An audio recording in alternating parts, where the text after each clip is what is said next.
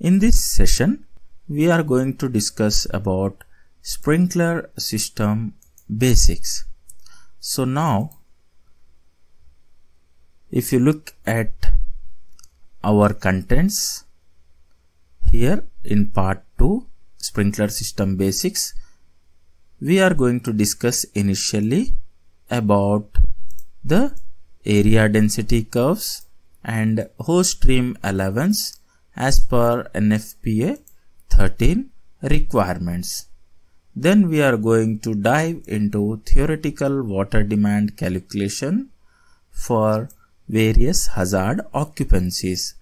Later on, the most important topic we are going to cover about the area adjustments based on the type of sprinkler system or the type of sprinklers for performing hydraulic calculations. Now let us try to discuss area density curves. As per NFPA 13, these curves are used in determining the design area of sprinkler operation and also the corresponding density based on occupancy hazards. These details are required to be entered in the Allied EliteFire software for performing hydraulic calculations. For instance, let's consider ordinary hazard group 1 occupancy according to this particular area density curve. The prescribed density for ordinary hazard group 1 is 0.15 GPM per square feet while the corresponding design area of sprinkler operation is 1500 square feet.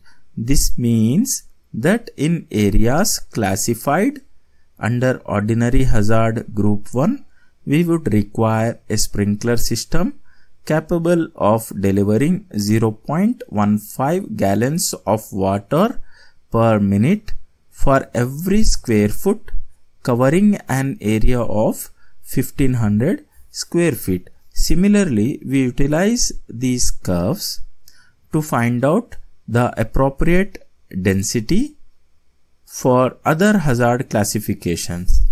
For example, for light hazard, the density will be 0.1510 GPM per square feet at 1500 square feet area of sprinkler operation.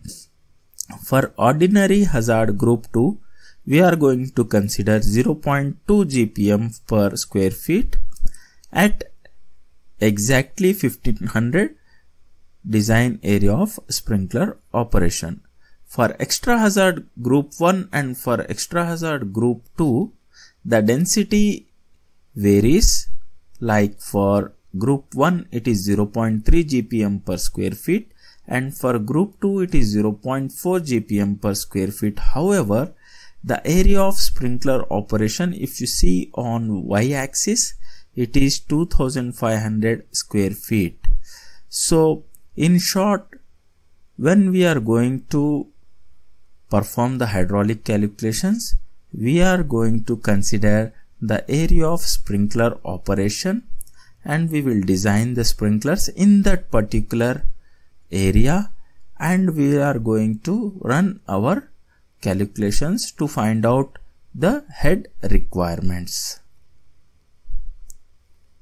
So as per NFPA 13, hose stream allowance has to be added to the sprinkler system demand. This particular table shows the total combined inside and outside hose allowance to be considered based on the hazard occupancy.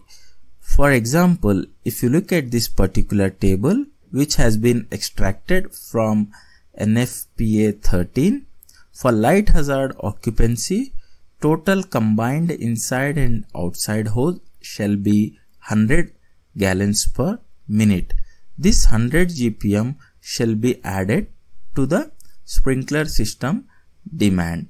For ordinary hazard, we have to add 250 GPM to the sprinkler system demand.